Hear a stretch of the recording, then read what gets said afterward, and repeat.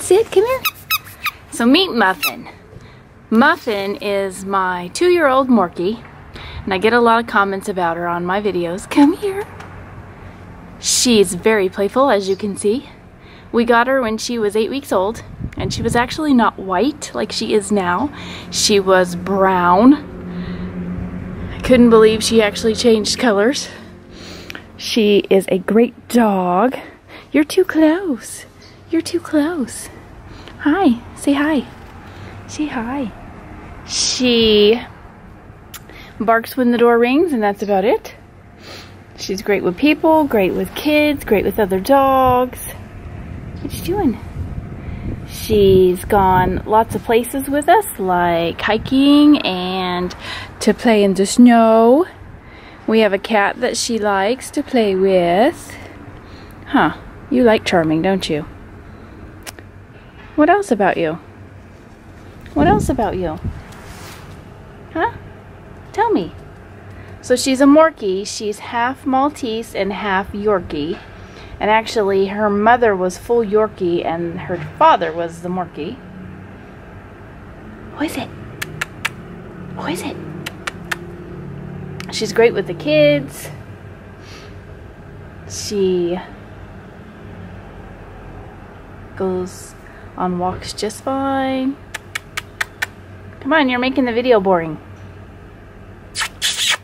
Get that ball. Get that ball. Go get it. Go get it. Give me that ball. Give me that ball. Ready?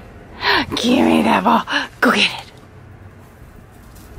She loves chasing things and bringing it back. Uh-oh. Is it stuck in the leaves? Get it. Give me that ball. Give me that ball. Where is it?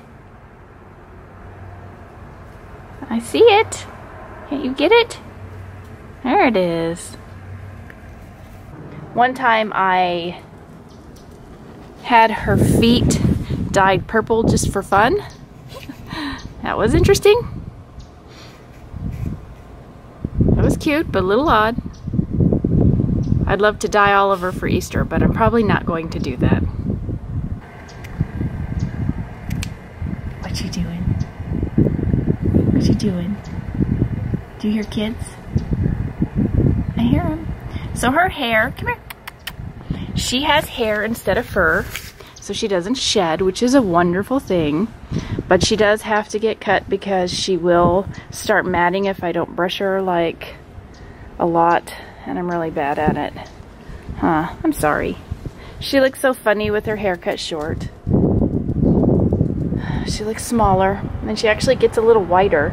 When her hair grows out, it gets a little darker, that kind of yellow brownish color that she's starting to get. Huh. Muffin. Muffin. Bye. Bye, Muff.